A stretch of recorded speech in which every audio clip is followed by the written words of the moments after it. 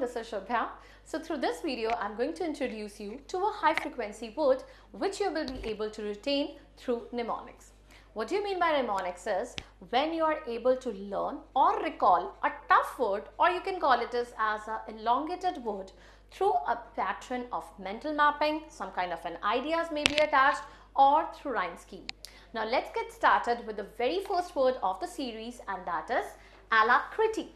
First, let me tell you the meaning of the word. Alacrity means, first thing, it's a positive word. And it means when you're very happy, when you're in a state of cheerfulness, joyous, you're willing to do something, you're ready to do something, you have a promptness. So that is the meaning of alacrity. Cheerfulness, speedy willingness, zeal, readiness, promptness.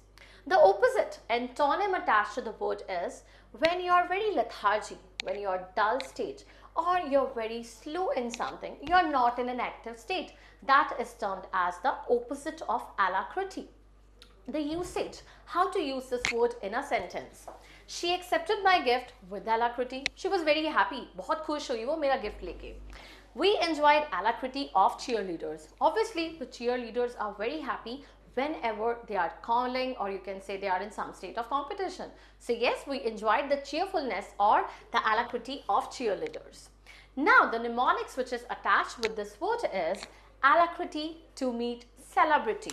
Alacrity, celebrity. That is, whenever you are to meet a celebrity, you have a very happy state. You are in a happy state. You're in a joyous state. You're full of excitement.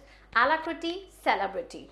Be it any celebrity, the people are very happy. So you can even attach this image in your mental mapping. So that is alacrity to meet celebrity. If the kids are to learn it, it's very simple. They can learn it like alacrity to visit Kalakriti.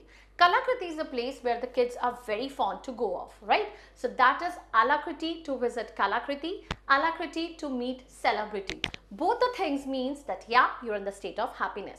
So whenever this word comes, do attach this rhyme scheme to that word. This is going to make your words learning very simpler.